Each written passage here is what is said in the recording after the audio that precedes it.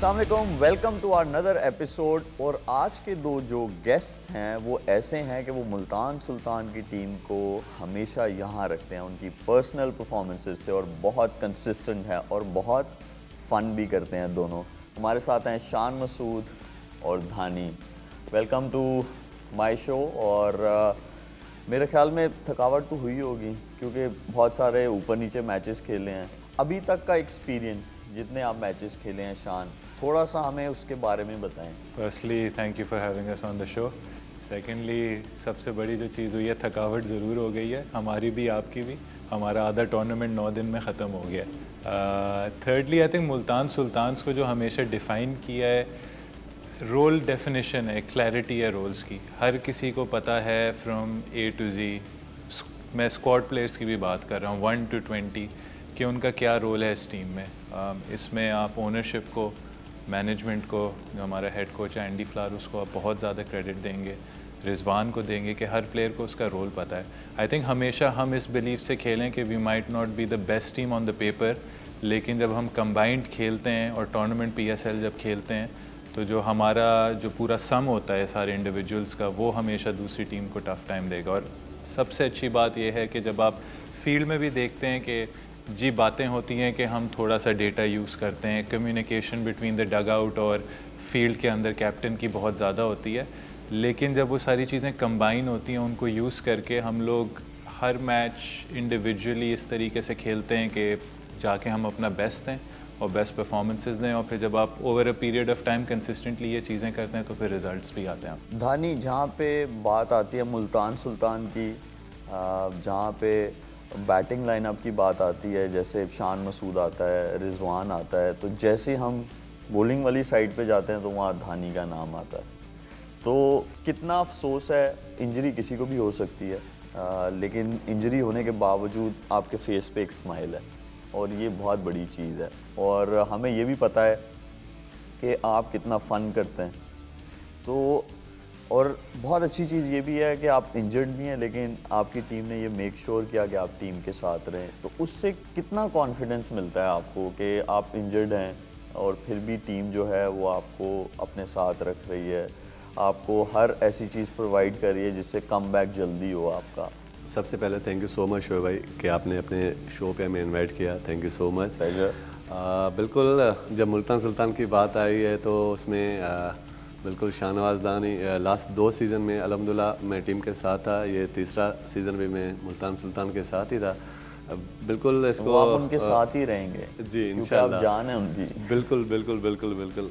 तो इसमें यह है कि इंजरी आपने कहा कि ये सबके साथ होती है ये लाइफ का हिस्सा है। तो बिल्कुल मैं मुझे ये एक्सपेक्टेशन भी थी मुल्तान सुल्तान से कि जिस तरह फैमिली की तरह उनके साथ कम्युनिकेट उनके साथ बात करने का, उनके साथ रहने का ये तीन साल में बहुत सी चीज़ें ऐसे सीखने को भी मिली। और अलहमदिल्ला बहुत खुशी होती है उनके साथ जब भी होते हैं। तो बिल्कुल मुझे इंजरी हुई, उनके बाद उन्होंने मुझे ऐसे नहीं छोड़ा। बिल्कुल मैं टीम से रोल्ड आउट हो गया, मेरी जगह रिप्लेसमेंट भी हो गया मोहम्मद इलियास। लेकिन उन, उनके बावजूद भी उन्होंने मुझे अपने फैमिली मेंबर की तरह ट्रीट किया। उन्होंने मुझे मुल्तान से कराची भेजा, वहाँ पे आखिर हॉस्पिटल में, वहाँ पे मेरा ऑपरेशन करवाया, सर्जरी। उसके बाद उन्होंने कहा है कि नहीं आप हमारे फैमिली का एक अहम मेंबर हो, हिस्सा हो आपको ऐसे मौके पे अकेले नहीं छोड़ सकते हैं। क्योंकि ऐसी थिंकिंग आती हैं बीइंग ए यंगस्टर आप मतलब मैच के पहले मैच में इवेंट के इवेंट के पहले मैच में आप अनजर्ड हो जाते हैं। तो बिल्कुल, लेकिन उन्होंने इस चीज़ की कमी महसूस होने मुझे नहीं दी। रूटीन क्या होती है आपकी शान मैच वाले दिन? पीएसएल में एक स्पेशल एक अलग सी रूटीन होती है। दिन रात हो जाती है रात दिन हो जाता है। बिल्कुल और जब आप नाइट मैच खेल रहे हो वैसे ही वैसे पोस्ट मिडनाइट आप वापस आते अगर सुबह छः बजे उठ गए तो ब्लड सर्कुलेशन स्लो नहीं होती नींद आती नहीं है। और जिस दिन अच्छा किया हो तो हर चीज़ अच्छी लगती है। जिस दिन अच्छा ना किया हो तो फिर दिल करता है यार बस अकेले बैठ जाओ। आ, लेकिन यह है कि इसको आप कहाँ रेट करते हैं? दानी आप बताएँ पीएसएल को आप कहाँ रेट करते हैं दूसरी लीग्स के साथ?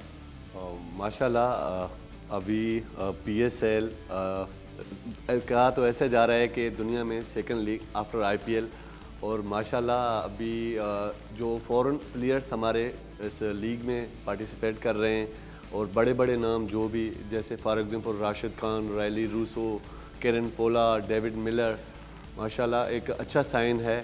और अल्हम्दुलिल्लाह, अभी पीएसएल ने माशाल्लाह काफ़ी एक अच्छा इम्पेक्ट ओवरऑल वर्ल्ड में दिखाया है कि पाकिस्तान एक सेफ़ कंट्री है वहाँ पे और अच्छा जो कॉम्बिनेशन कहते हैं, वो कहते हैं फास्ट बॉलिंग वहाँ पे बहुत ज़्यादा डेंजरस है और उनको इजी हिट करना इतना आसान नहीं है कंपेयर टू अदर लीग्स बिल्कुल सही कह रहे हैं। शान आप ये बताएँ कि नो डाउट हमारा जो बोलिंग अटैक है specially when it comes down to pace attack तो हर टीम के पास ऑलमोस्ट दो से तीन ऐसे हैं 140 प्लस वाले।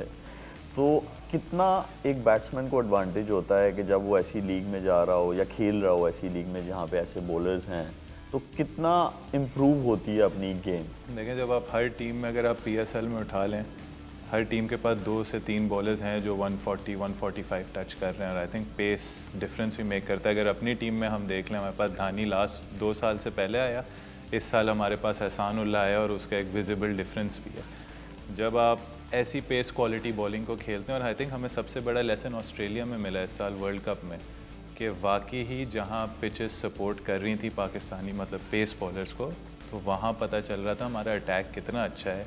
कि जब नसीम होता था, हारिस होता था, शाहीन होता था, और फिर जो हमारा चौथा ऑप्शन था वो वसीम होता था। हसनैन साइड लाइन्स पर बैठा हुआ था। तो उससे पता चलता है कि जब हम भी पेस खेलते थे, अब I think we cope with pace much better जो हम probably ten years fifteen years ago जिस तरीके से इतना हमें अच्छा आइडिया नहीं होता था पेस और बाउंस का। तो आई थिंक ये हमारी लीग है। इसको बहुत ज़्यादा क्रेडिट देना होगा। उन लोगों को क्रेडिट देना होगा जिन्होंने आकर बोला कि अब पाकिस्तान को आई थिंक मुझे याद है अगर मैं चार साल पहले 2019 वर्ल्ड कप के बाद विकी भाई ने कहा था कि हमारे पास एटलीस्ट स्टॉक में 10 टू 12 140 प्लस वाले बॉलर्स होने चाहिए। और अगर अब आप PSL देखें I think we have at least ten to 15 local bowlers who can bowl 140 plus तो ये लीग लीग ने फ़ायदा टीम को दिया तो है बॉलिंग यूनिट का, लेकिन साथ में बैट्समैनों को भी फ़ायदा दिया इतनी क्वालिटी बॉलिंग खेल के। बिल्कुल सही है टाइम हुआ है ब्रेक का ब्रेक के बाद इसी तरह बातें चलती रहेंगी, लेकिन फ़न की तरफ़ जाएँगे थोड़ा सा बहुत सीरियस बातें हो गई हैं। See you all after the break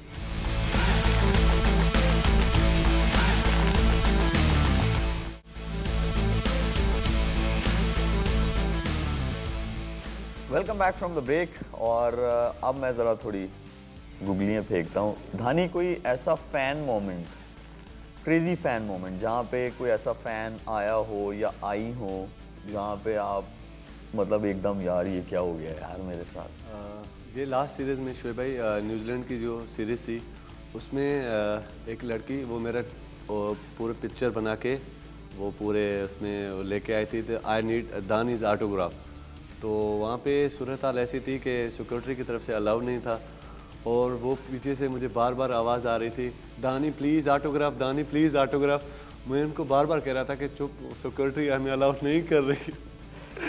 लेकिन तो, आपने बोला नहीं सिक्योरिटी को कि कोई बात नहीं आप बुक ले ले मैं साइन कर देता। हूँ और शोएब मैंने उनको बहुत कहा कि पीछे से आवाज़ ज़्यादा आ रही थी बार बार आ रही थी तो थोड़ा सा डिस्टर्बेंस जब होती है टीम में बैठे होते हैं बार बार आवाज़ मैं पीछे मुड़ के उनको जवाब दे रहा था कि आप वेट करें मैं आपको ऑटोग्राफ ज़रूर दूँगा। फिर मैंने सिक्योरिटी वालों को कहा उन्होंने कहा कि आफ्टर इनिंग पचास ओवर का वनडे मैच चल रहा था तो मैंने बोला ये तो रात हो जाएगी पता नहीं वो चले जाएँ वापस। लेकिन अनफॉर्चुनेटली मैंने ऑटोग्राफ नहीं लेकिन मैंने आपको देखा है कि आप ना इंटरेक्ट करते हो क्राउड के साथ आप फन करते हो उनके साथ। वो चीज़ आपको कॉन्फिडेंस देती है या आपको अच्छा लगता है?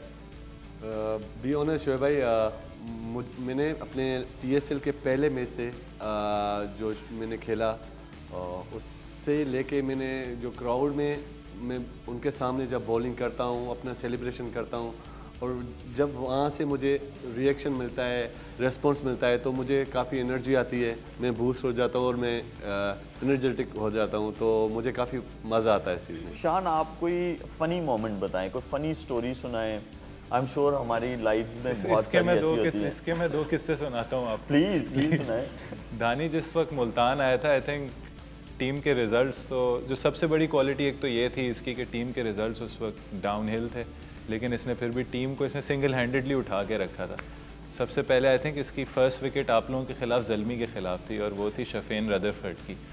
तो अगले दिन जब सुबह उठे तो ये बड़ा खुश था कि इसकी फ़र्स्ट विकेट थी। तो मैंने पूछा, उसका नाम क्या है? किसको आउट किया आपने? कहते मैंने थर्ड फ्लोर को आउट किया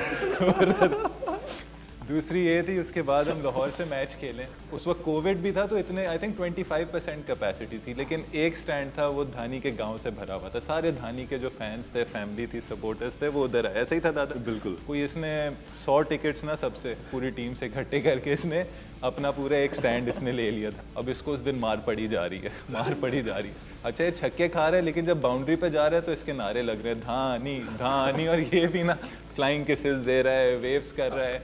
तो साथ में वो आगा सलमान मेरे साथ बाहर बैठा था, हम दोनों बाहर बैठे थे। कहते हैं, यार शानी भाई, ये कैसा अजीब बंदा है? अगर मैंने 25 रन खाए होते मेरे ऊपर तो अंडे और टमाटर फेंकते इसके तो धानी धानी के नारे लग रहे फिर नेक्स्ट टाइम उसने नहीं देने थे ना पासेस जो उसने दिए हुए थे। अब मुझे अगर कोई पास देगा, उसे मार पड़े या वो जल्दी आउट हो जाए, मैं तो उसे कुछ नहीं कर सकता। मैं, मुझे आगे से भी चाहिए ना पासेस शान, आप बताएँ, आप नेटफ्लिक्स देखते हैं या टीवी वैसे देखते हैं या अपने जो टीममेट्स हैं उनके साथ आप टाइम स्पेंड करते हैं? देखें पर्सनली आई थिंक बहुत मुश्किल चीज़ है स्पेशली um, आई मतलब मुझे अच्छा लगता है कि मैं जैसे हम अगर कराची में घर चले जाऊँ कहीं हम लोग बाहर खाना खाने चले जाएँ लेकिन ये वो चीज़ें हैं कि आपको ऐसा लगता है कि आप ग्राउंड और होटल में सिर्फ़ लाइफ जी रहे हो लेकिन जब दैट्स लाइफ आपको एक्सेप्ट करना होता है तो फिर आप कोई ना कोई कोपिंग आप स्ट्रैटेजीज़ लाते हो कि क्या करो। टीममेट्स के साथ ऑब्वियसली हम लोग बैठते हैं, जब ज़्यादा टीमें होती हैं और अच्छा लगता है। बीच में ये भी था कि सबके फ्लोर्स अलग थे और आप किसी के फ्लोर में नहीं जा सकते थे। या आप जैसे अबू धाबी में जो कोविड का सीन था। फिर वो प्ले स्टेशन वाला डब्बा ले लिया। ठीक है, उसी में प्ले स्टेशन होता है, उसी में स्क्रीन होता है, जैसे कमरे में आते हैं, वो लगाया। नेटफ्लिक्स भी उसी पे ही देख ली। मुझे नहीं लगता कोई ऐसा शो बचा है जो नहीं देखा।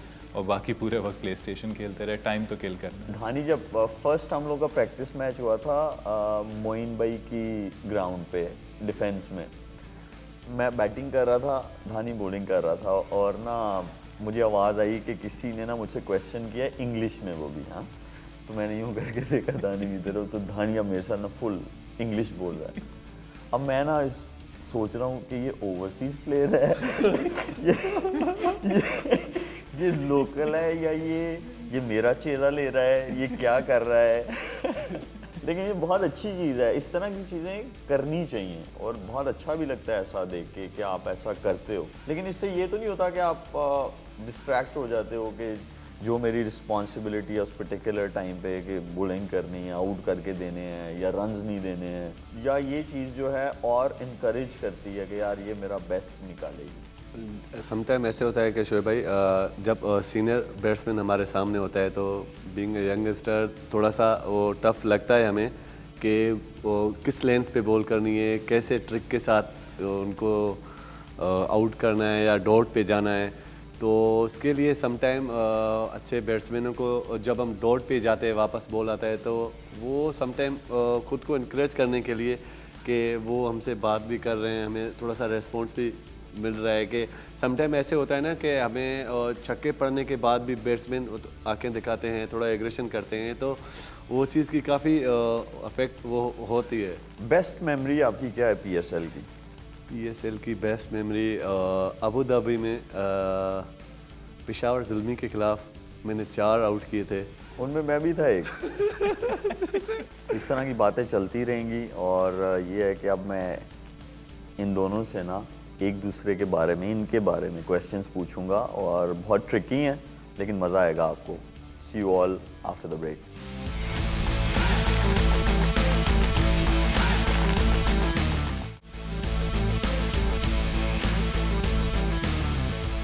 welcome back from the break और ब्रेक पे जाने से पहले मैंने कहा था कि एक दूसरे के इन, आपस में इन्हीं से क्वेश्चंस पूछूँगा और ये रिलेटेड पीएसएल हैं। लेकिन उन क्वेश्चंस पे जाने से पहले मैं शान आपसे ये पूछना चाहता हूँ सोशल मीडिया नो डाउट उसकी बहुत इन्वॉल्वमेंट है और ज़रूरत भी है वो। आ, लेकिन आपको इफ़ेक्ट करता है वो? आई थिंक मेरी सबसे बुरी बात है मैं चाहे अच्छा वक्त हो बुरा वक्त हो दोनों वक्तों में देखता हूँ। फॉलो करता हूँ आउट ऑफ़ इंटरेस्ट पता होना चाहिए आपको कि कौन क्या कह रहा है। कभी कभार आप कोई अच्छी चीज़ भी पिक कर लेते हो। लेकिन उसमें आप दस ऐसी चीज़ें भी पिक करते हैं जो काफ़ी आपके लिए पर्सनली हार्मफुल हो सकती हैं। दिल बड़ा करता है कि सोशल मीडिया से इंगेजमेंट ना रखें लेकिन देखें as as a professional cricketer you have to stay loyal to your fans बहुत सारे लोग आपको फॉलो करते हैं पर्सनल uh, प्राइड लेते हैं आपकी अच्छाई में आपकी परफॉर्मेंसेस में तो आपका भी एक वो हक बनता है कि आप इंटरेक्ट करो और उनसे अपनी लाइफ किसी तरीके से शेयर करो। कितना रोल है सोशल uh, मीडिया का आपकी ग्रूमिंग में या कितनी ज़्यादा ज़रूरत है इस चीज़ की, एक प्रोफेशनल एथलीट की लाइफ में? जी बिल्कुल शोएब भाई काफ़ी इम्पेक्ट करता है सोशल मीडिया एक एथलीट को ग्रूम करने के लिए। फॉर एग्ज़ाम्पल जैसे मैं पीएसएल में आया तो सबको ये नहीं पता था क्रिकेट फैंस को और इवन मेरे टीममेट्स को, कि दानी कहाँ से आया है, पहले ये क्या करता था। तो ऐसे मेमोरीज़ मेरे जो मैं गाँव में अपना काम करता था गाँव में खेती बाड़ी जैसे होते हैं तो उससे पहले मैं टेप बॉल खेलता था विदाउट शूज़ वो पिक्चर्स सोशल मीडिया में आ गए तो ये एक फार्मर का बेटा है और वहाँ से इसका इसको क्रिकेट का क्रेज़ था। तो उसके बाद उनको मेरे इवन मेरे एजुकेशन के बारे में सबको पता चला है कि ही गट ग्रेजुएट तो माशाल्लाह वो तो मुझे इंग्लिश से पता चल गया था।